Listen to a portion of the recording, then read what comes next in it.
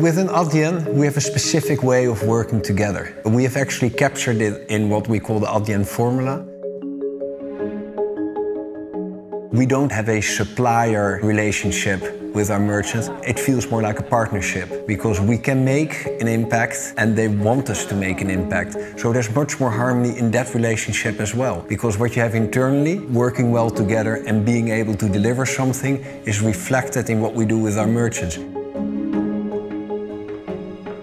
What we do with Adyen is we build something for a very long term. And that means that we give ourselves the opportunity to build it in a way where we don't compromise on many things. That means that you can build an ethical business, that you can work with merchants that you never have to be ashamed of, but that you actually are proud of, that those are your partners. For an engineering company, it's very important that the engineers see the impact that they make, but also avoid a situation that if we build something really good and the merchant really likes it, it should not be just the commercial people who say like, wow, look how we implemented this and how happy the merchant is. But then also the engineering side should feel this is what we built and see how happy the merchant is with it. And that's, if you go back to the Adyen formula, why we say winning is more important than ego. We win as a company. If we don't know something, if we disagree on something, we take the time because we have a group of people that's very smart and probably if people look differently at a certain topic, have different opinions, we should spend time on it to understand why somebody thinks differently about it. Because only if you do that, then you understand why somebody has different assumptions or maybe an error in the thinking or maybe an error in your own thinking. And only that can help to get to a very good outcome.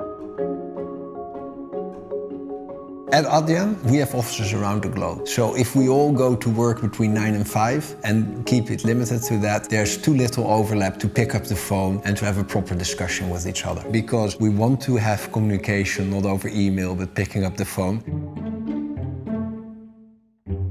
If you look at how you want to organize yourself, what we feel is it's important that people can have a high contribution. We say we want to help our merchants grow. We don't accept the payment industry as is. We want to change it. But thirdly, we say we want to have fun whilst doing it.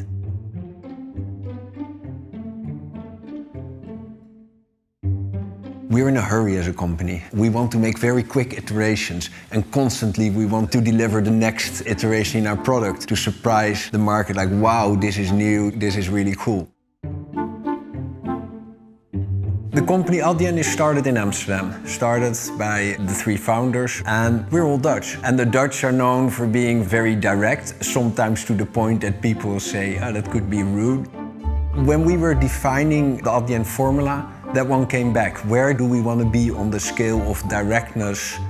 Talking straight without being rude in Brazil is not the same as talking straight without being rude in Singapore. So we ask people, incorporate in your own culture, but within what is acceptable within your culture, we think you should be on the more direct side so that the merchant actually feels there's a lot of transparency. That is something which we had from the beginning, but I think it scales. I think we can keep it for a very, very long time that way.